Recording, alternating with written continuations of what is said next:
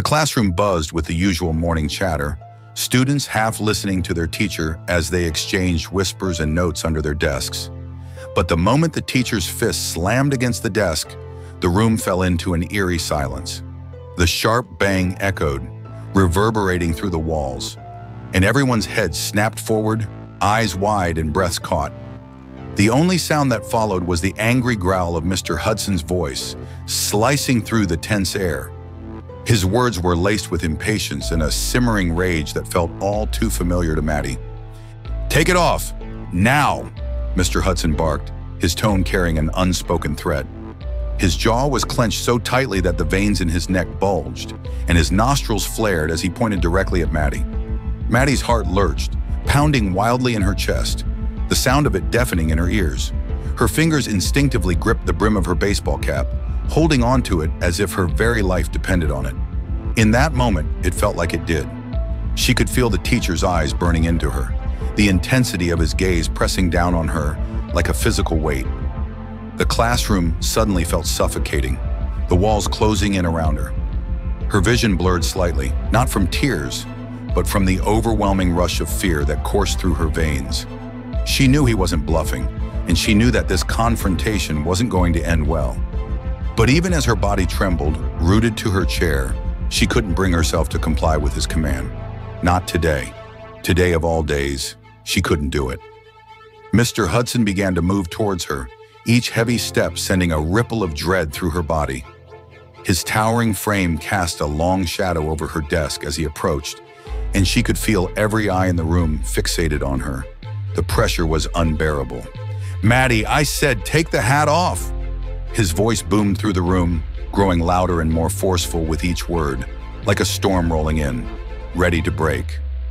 Maddie swallowed hard, her throat dry, her hands shaking. Her mind raced, trying to find the words that would make him understand, to plead with him, but nothing came out. Her lips moved, but her voice had abandoned her, leaving only the frantic beating of her heart in the silence. She wanted to tell him. She wanted to explain everything, about her illness, about the countless nights spent in hospitals, about the medicine that made her feel worse than the sickness itself, about the pain that was her constant companion, gnawing at her bones. But no words formed. Fear had taken control. The teacher loomed over her, his patience gone. His hands shot forward, fingers gripping the brim of her cap, and before she could even register what was happening, he yanked it off her head. The motion was swift and brutal, and it felt like the air had been sucked out of the room. For a moment, there was nothing. No sound, no movement.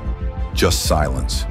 The entire class froze, eyes wide with a mix of shock and curiosity. Then the whispers started, soft at first, but quickly growing louder.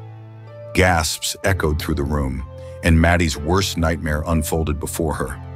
She felt exposed, vulnerable, as if every piece of armor she had was stripped away, leaving her raw and defenseless in front of her peers.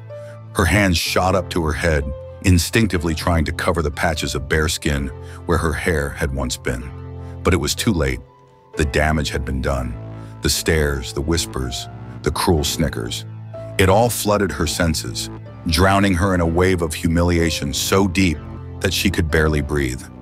Tears welled in her eyes, blurring her vision as she fought to hold them back. She could feel the heat rising in her face, the flush of embarrassment mixing with the cold, sharp sting of betrayal. The cap had been her shield, the last thing protecting her from the harsh reality of her illness. Now, stripped of it, she felt naked, as if the very essence of her being had been laid bare for everyone to see and judge. This wasn't how it was supposed to be.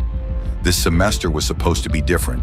After everything she had been through, the treatments, the surgeries, the endless medications, Maddie had hoped this year would be a fresh start. The doctors had said the worst was over, that the pain would ease, and that her hair would eventually grow back. She had dared to believe them. She had dared to hope. And for a while, it seemed like things were looking up. She had returned to school, nervous but excited, eager to be normal again, to blend in, to forget about the hospital beds and IV drips. But she had been wrong, so very wrong. The world wasn't kind. And now sitting here, with her classmates' eyes burning into her, Maddie felt the full weight of that cruel truth. The laughter around her grew louder, and the whispers became more pointed. She could feel their pity, their mockery, their cruel delight in her pain. The words of her classmates cut deeper than any knife ever could. And then, in her mind, a memory surfaced. A moment from two years ago that seemed like a lifetime away now. It had been at a friend's birthday party, back before the illness had taken everything from her. Maddie had been wearing her baseball cap that day, not out of necessity, but just because she liked it. She had been standing by the cake table when a little girl, no older than six, had come up to her, eyes wide with admiration. I like your baseball cap, the little girl had said, her voice filled with innocent delight. Maddie had been caught off guard by the compliment, but she had smiled, really smiled, for the first time in what felt like forever. Thank you, she had replied softly, her heart warming at the simple kindness. For a few brief minutes, they had talked, and Maddie had felt normal. The girl hadn't cared about her appearance, hadn't seen her as the sick girl, the one everyone pitied. She had just seen Maddie. It was a small moment, but it had meant the world to her. Now that memory felt distant, like a dream she could barely hold on to. The laughter around her pulled her back to reality, and the overwhelming sense of isolation hit her like a tidal wave. She was alone in this battle. No one here understood what she was going through, the pain she carried every day, the fear that gripped her heart every morning when she looked in the mirror and saw less and less of the girl she used to be. The room began to spin.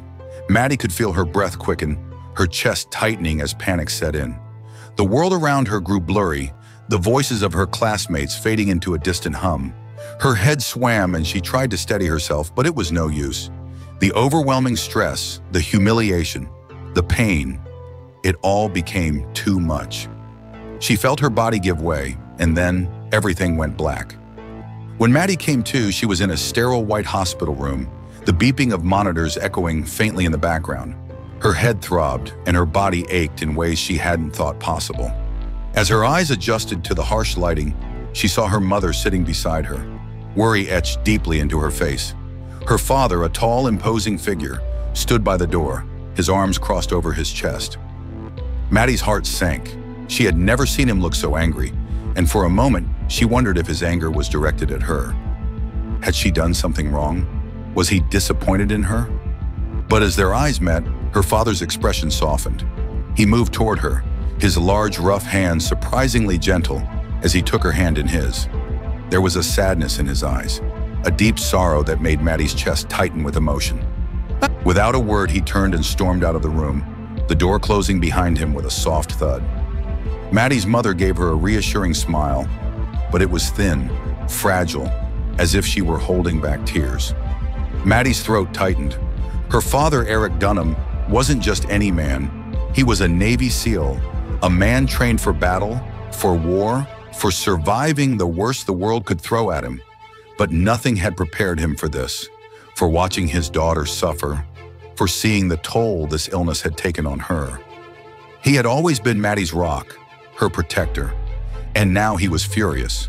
Furious at the teacher who had humiliated her, at the school that had allowed it to happen, at the world that had been so cruel to his little girl. Maddie watched as her father left the room, his anger barely contained. She knew where he was going. He was going to confront Mr. Hudson, to demand answers, to make sure that the man who had caused his daughter so much pain would pay for what he had done. What followed in the days after would shake the school to its core.